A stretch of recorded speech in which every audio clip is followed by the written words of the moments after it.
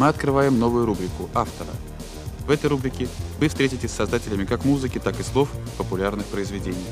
Но вначале слово нашему корреспонденту Вадиму Долгачеву.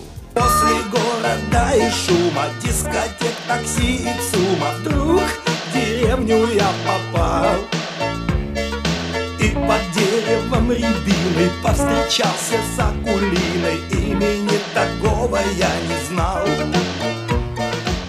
Меня, например, одновременно восхищает и удручает творчество композиторов, которых я называю наперсточниками, авторов эстрадных песен.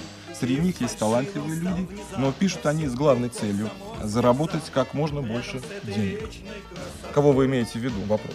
Ну, например, Вячеслав Добрынин. Его «Синий туман» представляет э, наперсточный поп в кристально чистом виде. Эта фраза принадлежит нашему музыкальному критику Артему Троицкому. Мы пригласили сегодня в студию композитора Вячеслава Добрынина и попросили бы его прокомментировать вот такую сентенцию Артема. Хорошо, спасибо за то, что меня пригласили, за внимание. Ведь, понимаете, когда че- человека приглашают, и о нем даже вот пишут, пусть даже как-то, как это можно понимать из этой, из этих слов, из, этих, из этой цитаты, пишут не очень, может быть, лестно, хотя меня это не обижает.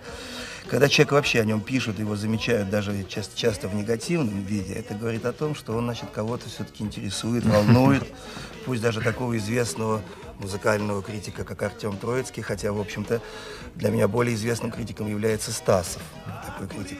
Вот. И когда э, Артем Троицкий все-таки он специфический критик, он пишет только о рок-музыке, и, слава богу, я не, не являюсь представителем э, композиторов в рок-музыке. Я, в общем, являюсь композитором в популярной музыке. Я бы даже сказал, в советской эстрадной песне. Чем, собственно, и горжусь. А вот здесь единственное, что я только не понимаю, наперсточник это, конечно, симпатичное название, это надо отдать должное Артему, он очень придумал хороший термин, возможно, он войдет в энциклопедию музыкальную. И если я, как представитель этого направления, войду в энциклопедию как первый автор, я буду очень горд этим обстоятельством. По-моему, Артем Троицкий имеет в виду то, что подобными песнями, подобными шлягерами композиторы зарабатывают просто денег. Вот как вы считаете, вот э, то, что в коммерции проникает на эстраду, проникает в искусство, это процесс нормальный или в этом есть все-таки какой-то э, душок Западный. западный? Да, да. Очень смешно. Западный душок, а такого душка нет как такового. Душок есть везде, где пишут музыку не за бесплатно. Есть такое выражение, знаете, я не, люб... я не обладаю даром, сочинять даром, мне оно очень нравится. Что касается меня, я пишу искренне. Для меня это самое главное. Я оста- э, Мне кажется, что я остался самим собой уже в течение последних 15 лет. В том, что я вот выступаю сейчас на концертах, и нет ни одного человека, который бы подошел и сказал, знаете, вы нас обманываете, мы любим ваши песни, но вы обманщик. Такого я никогда не слышал. Вот, скорее всего, они, если им э, дать вот эту статью почитать Троицкую всем моим поклонникам, которых достаточно Да, много, я думаю, они его осудят. вот, я думаю, они его осудят и даже могли бы его побить. Да, запросто. Вот, я думаю, что, пожалуй, так и надо сделать. Да, ну можно как-то Вот. это... Я думаю, что я Оформить. я этим займусь, да. Вот. Но я как-то вот сейчас, если честно говоря, я, конечно, шучу. Ну я да. только что с Артемом встречался. Надо дать должное, что у него гражданская, конечно, совесть есть. Он при встрече со мной не испугался, не ретировался, а так очень инте- интеллигентно признался в том, что он все-таки является моим давнишним, ну, если не поклонником, но уважает меня как автора, так сказать, и умеющего сочинять популярные песни. Вот. Но почему-то, видно, он хотел вот этот термин применить ко мне, а главное, к песне «Синий туман». Я, честно говоря, сам должен сказать честно, что «Синий туман» — это, наверное, конечно, невысокого, так сказать, очень художественного уровня произведения, в том смысле, что если на него смотреть действительно объективно со всех сторон. В нем нет сюжета в этой песне, в нем по- подчас даже нельзя понять, о чем там поется, но меня интересовало в нем самовыражение в этой песне. Я всем говорю, да, для меня это какое-то самовыражение. Ну, знаете, когда человек испытывает эмоции, он что-то делает. Я в это время испытываю эмоции и пою «Синий туман». Что в этом дурного, правда? Да нет, конечно, прекрасно. Вот. Туман постучал в дома, шалью синею обнялся. Так уж было раз, в предрассветный час, было несколько лет назад.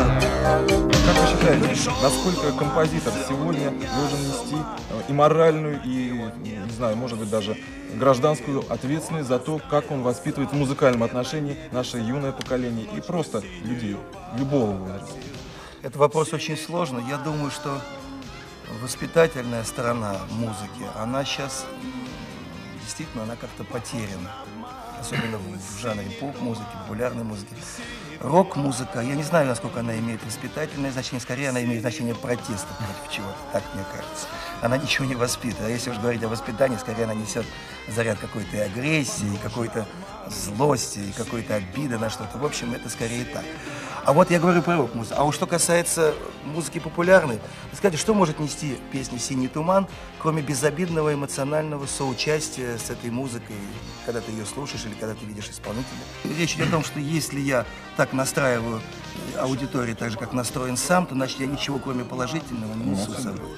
Так, что касается ответа на ваш вопрос, это вопрос сложный. И Родион Щедрин прав. Я сейчас действительно молодежь почти не слушает серьезную музыку. Это на самом деле так. Ее слушают по-прежнему те люди, которые воспитаны были, так сказать, серьезно на музыку, которые всегда любили, и они ее слушают до старости, они ее любят.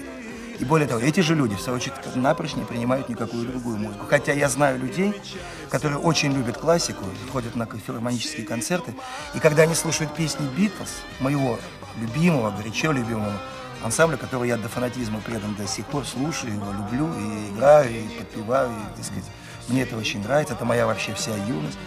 Я знал людей, которые слушают серьезную музыку и любят при этом Битлз. Сеять разумное и доброе вечно как раз это и признана популярная музыка, мне кажется. Вопрос, вопрос коммерческий. Ну хорошо, я вас уверяю, что если бы, если бы отменили любые вознаграждения денежные, оплату, так сказать, за создание песни, за их, так сказать, за, за их исполнение этих песен, то я все равно, я должен признаться всем, кто видит эту передачу, что я бы не отказался от того, что я делал. Я продолжал делать то, что я люблю, то, что я умею, то, что я хочу, то, что я чувствую.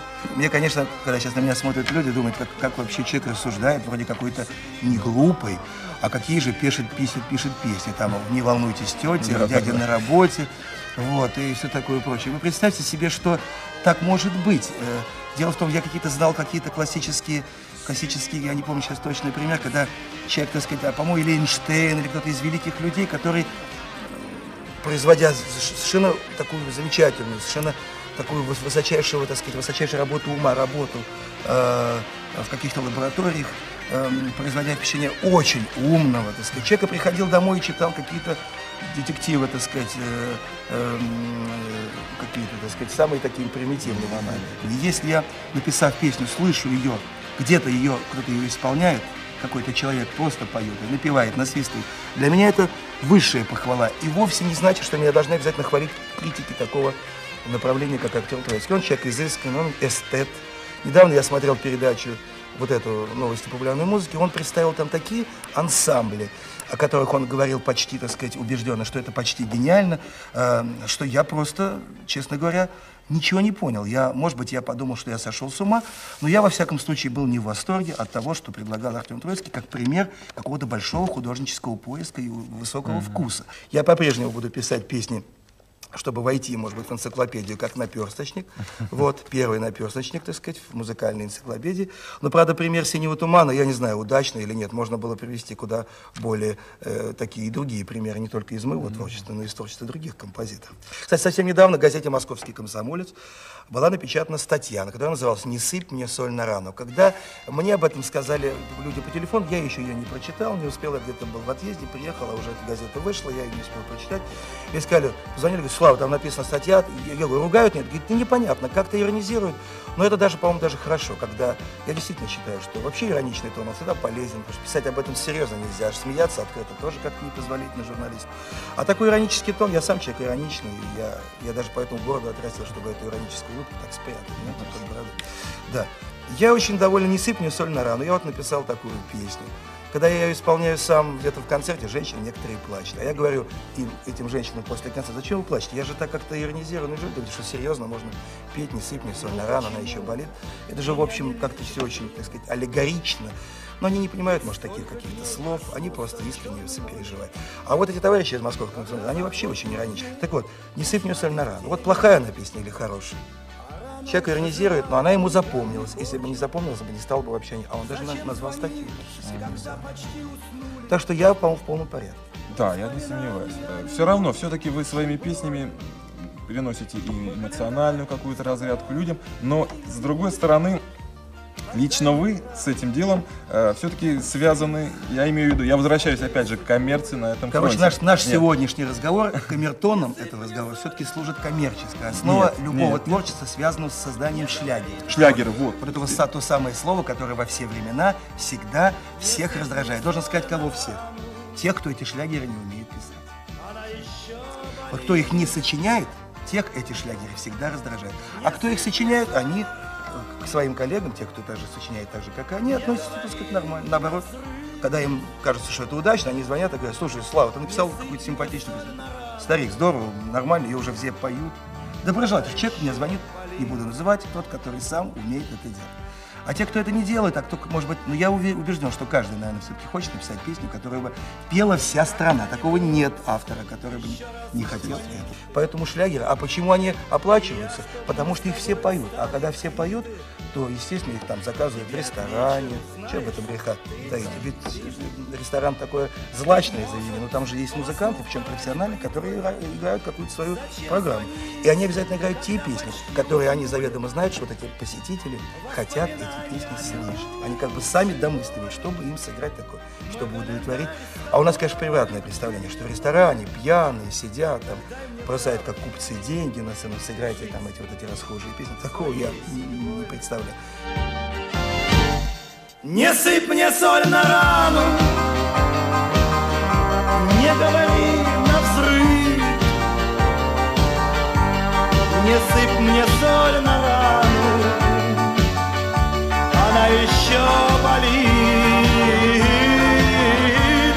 Не сыпь мне соль